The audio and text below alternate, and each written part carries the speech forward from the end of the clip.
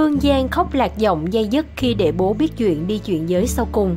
Khi lắng nghe câu chuyện của người tham gia chương trình, Hoa hậu Hương Giang đã rất xúc động khi nhớ về mình của quá khứ.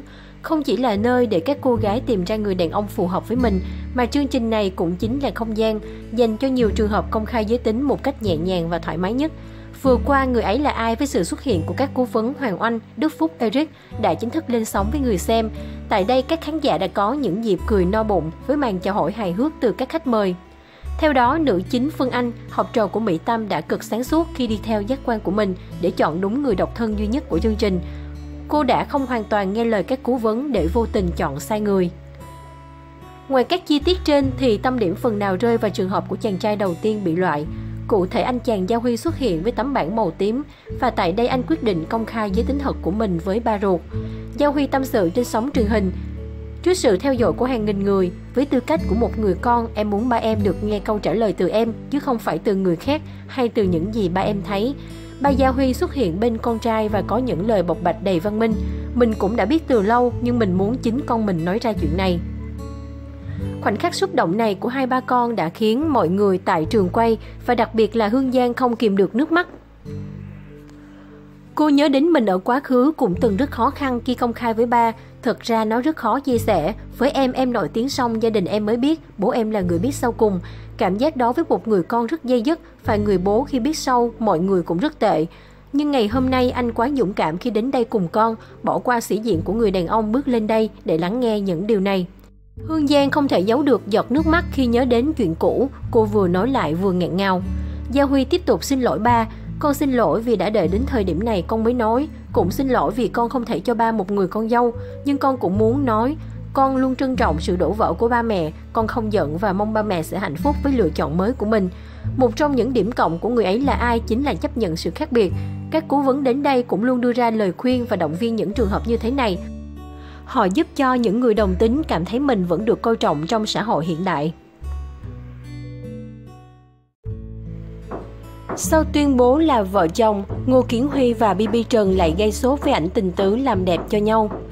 Ngô Kiến Huy và BB Trần gọi nhau là vợ chồng ngọt ngào sau thời gian phân vân công hay thụ, khiến dân mạng thích thú. Mới đây, trai thẳng Ngô Kiến Huy và trai công BB Trần lại làm nóng mạng xã hội sau những lời xưng hô vợ chồng ngọt ngào. Câu chuyện bắt đầu từ những bức ảnh hậu trường khi hai ngôi sao cùng các nghệ sĩ đình đám tham gia một game show truyền hình. Thay vì hình ảnh chỉnh chu, các thành viên đăng tải khoảnh khắc ghi lại tư thế tranh thủ ngủ nghỉ bá đạo của đối phương để dìm hàng nhau. Dán ngủ bỏ lại mọi thứ trên đời của Ngô Kiến Huy. Bên dưới trạng thái của Ngô Kiến Huy, fan đăng tải ảnh BB Trần đang ngủ kèm lời nhắn. Còn đây là khi ngủ của vợ Bắp. Tình cũ của Khổng Tú Quỳnh tác thẳng tên BB Trần vào mà mỉa mai. Vợ ơi, mặt mũi, nào nhìn thiên hạ nữa. Hùa theo Ngô Kiến Huy BB Trần quả quyết, không sao đâu chồng, em còn cái mặt đâu mà sợ. Ngô Kiến Huy và BB Trần xác định rõ ai là vợ, ai là chồng. Đoạn hội thoại xưng hô vợ chồng công khai của Ngô Kiến Huy và BB Trần sau thời gian đồi ghép cặp được các fan của cả hai ủng hộ nhiệt tình. Thời gian qua, Ngô Kiến Huy và BB Trần phụ sóng dư luận sau loạt hình ảnh thân thiết. Hai ngôi sao thường xuyên thả thính công khai mạng xã hội. BB Trần đồi ghép cặp và phân biệt công hay thụ, trong khi tình cũ của Khổng Tú Quỳnh cũng quả quyết, rõ ràng chúng tôi thuộc về nhau. Cách để thơm cả hai không ngừng ngại công khai xác nhận là vợ chồng. Ngô Kiến Huy BB Trần Cách xưng hô vợ chồng hài hước của hai ngôi sao khiến tập đoàn shipper phát cuồng. Không chỉ chia sẻ bằng lời, Ngô Kiến Huy và BB Trần còn thể hiện bằng hành động, hình ảnh hai ngôi sao liên tục. Kè kè bên nhau được nhóm bạn chơi chung chia sẻ phủ sóng mạng xã hội. Tình cũ Khổng Tú Quỳnh và trai công họ Trần luôn sát cánh khi đi ăn uống hay vui chơi cùng đồng nghiệp. Không chỉ gục đầu hay ôm eo, BB Trần và Ngô Kiến Huy còn tỉa tót, tết tóc làm đẹp cho nhau.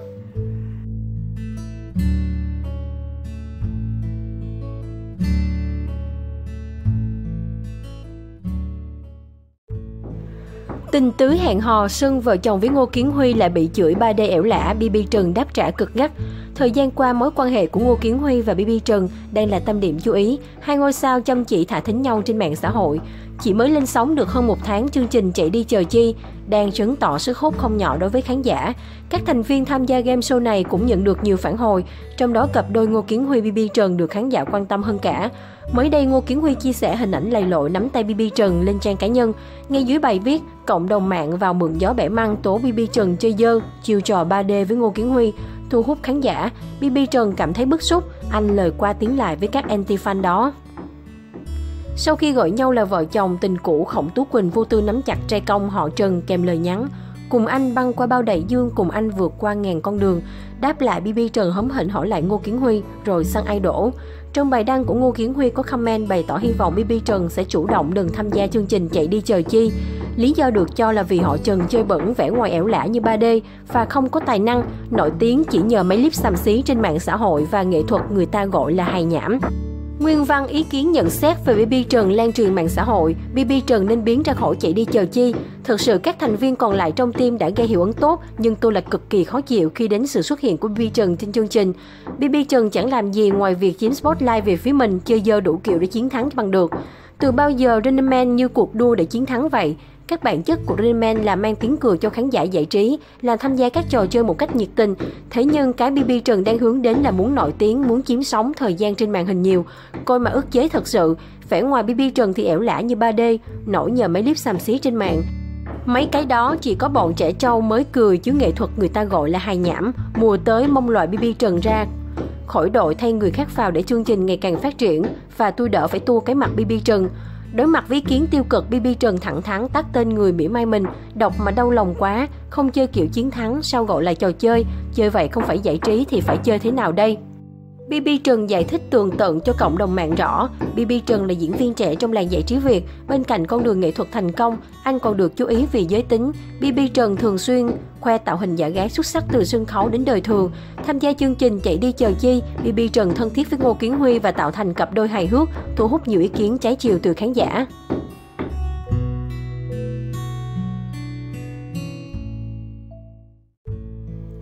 Harry Won Tôi làm MC tiền cách xây nghèo lắm phải mặc đồ của chồng.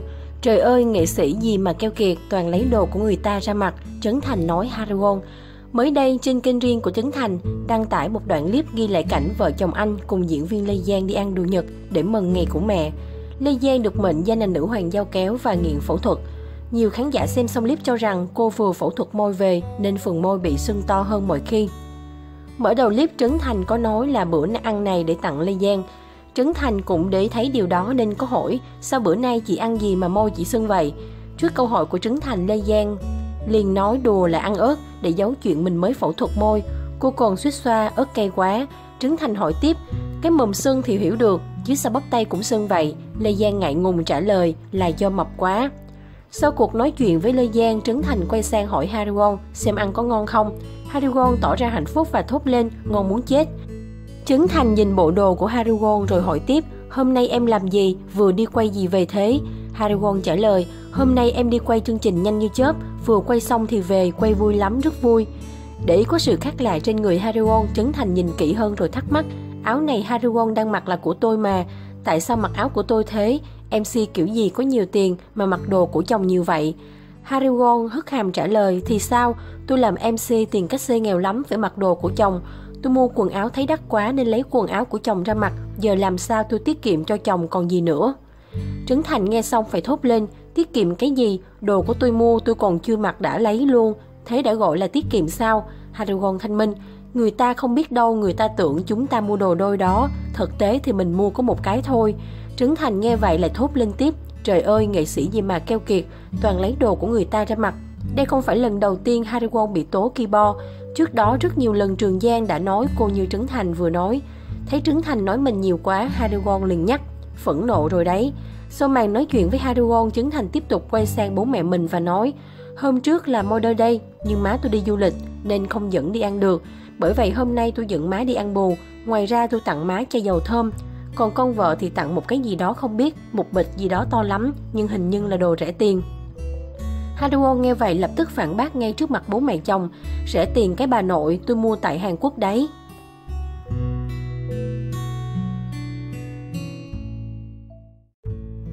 Hồ Quang Hiếu bảo anh ngầm thả thính, dân mạc đồng loạt khẳng định cặp tình nhân cũ đã yêu lại từ đầu.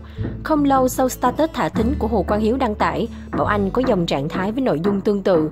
Ít giờ trước trên trang cá nhân, ca sĩ Bảo Anh đăng tải hình ảnh quyến rũ trong chiếc váy body ôm sát. Đính kèm là dòng trạng thái, nếu bạn nhìn kỹ tấm hình này, bạn sẽ thấy hai người vừa đẹp vừa thông minh đang nhìn nhau. Ngay khi chia sẻ hình ảnh của giọng ca Anh muốn em sống sao, thu hút sự quan tâm, bên cạnh lời khen có cánh cho nhan sắc xinh đẹp của nữ ca sĩ, nhiều người phát hiện điểm bất thường. Hồ Quang Hiếu và Bảo Anh có dòng chia sẻ tương tự nhau. Trước đó không lâu, Hồ Quang Hiếu cũng có một dòng trạng thái thả thính tương tự. Chia sẻ hình ảnh chính mình, Hồ Quang Hiếu đặt caption, nếu nhìn kỹ bức hình này ta sẽ thấy hai đứa mình đang nhìn nhau. Việc cùng đăng tải status có nội dung gần giống nhau trong khoảng thời gian ngắn khiến dân tình nghi ngờ Bảo Anh cướp lại câu nói của tình cũ. Số khác nhận định Bảo Anh và nam ca sĩ họ Hồ đang thả thính. Không phải vô duyên vô cớ lại có suy nghĩ trùng nhau cùng thời điểm. Chưa kể thời gian này họ có nhiều tín hiệu đáng ngờ khi liên tục đi du lịch cùng nhau. Từ loạt bằng chứng trên, nhiều ý kiến cho rằng mỹ nhân sinh năm 1992 và Hồ Quang Hiếu đang yêu lại từ đầu.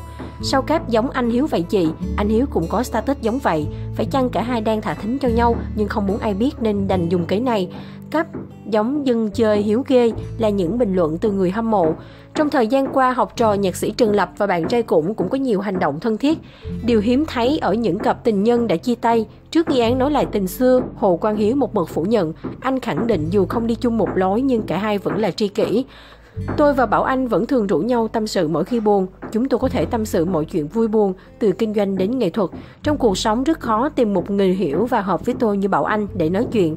Nếu bản thân mình xác định đối phương là bạn thì sẽ là bạn, còn yêu là yêu. Cũng như tôi với Bảo Anh hiện tại không còn tình yêu nhưng vẫn là tri kỷ. Trên cả mức tình bạn nhưng không còn là yêu, giọng ca con bướm xuân chia sẻ.